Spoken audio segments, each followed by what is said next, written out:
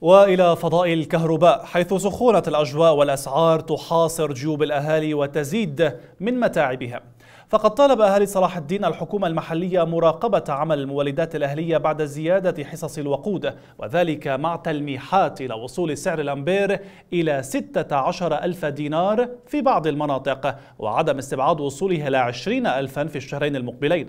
المطالبات الشعبية شملت أيضا الموازنة بين أسعار الخط الاعتيادي والذهبي لأن الغالبية العظمى منهم غير قادرة على دفع التكاليف وهي بحاجة ماسة للكهرباء ما يتطلب مراعاة أوضاعهم واحتياجاتهم في الشهرين المقبلين من فصل الصيف.